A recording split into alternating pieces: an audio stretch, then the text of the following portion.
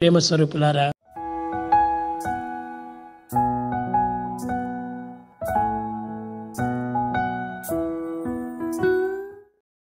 One day in Kodaikanal, one devotee of Bhagwan who had been with Swami for n number of years, he said, Swami, हम लोग इतनी साधना करते हैं स्वामी पर हम लक्ष्य के कितनी दूर हैं कैसे मालूम चलेगा स्वामी we are in, talking in Kodaikanal and Swami asked in the evening, anybody has a question to ask?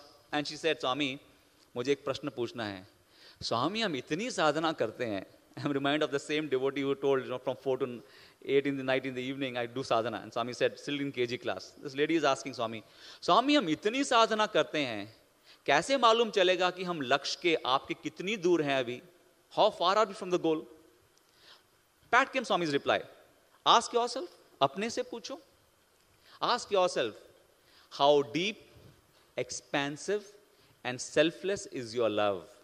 That is the level of your distance from God. How beautiful is it not? Swami said, Ask yourself. Don't ask me. Ask yourself. Today, when you go to bed, let us all ask ourselves. Why only that devotee should ask? Why can't we ask?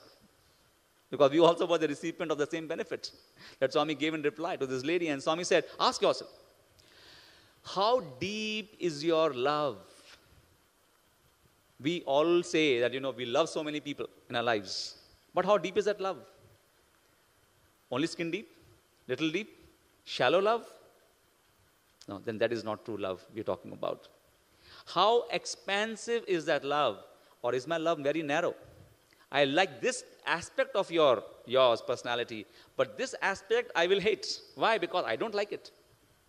If you mold yourself in this particular way, then I have a chance of liking you. Otherwise, no, no chance. Then that means what? My love is not expansive, it is narrow. And how selfless is my love? Is it?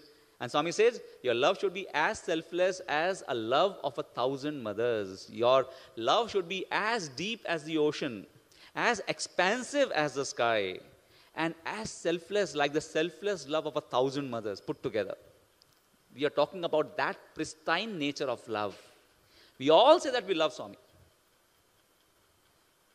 In one discourse, Swami was talking to all the devotees and said, You all say that you are great devotees. Tell me who will come and drink the cup of poison like Mirabai did. Anybody is there? Volunteer. Come, I'll give you a cup of poison. Is anybody will drink?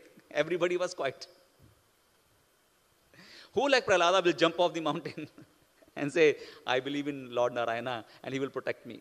Is there that level of faith in us? But there is possibility. That is why Samarpan is what we require. And Samarpan is the key to all the ills that and lacuna that we have on a spiritual Lord, take my.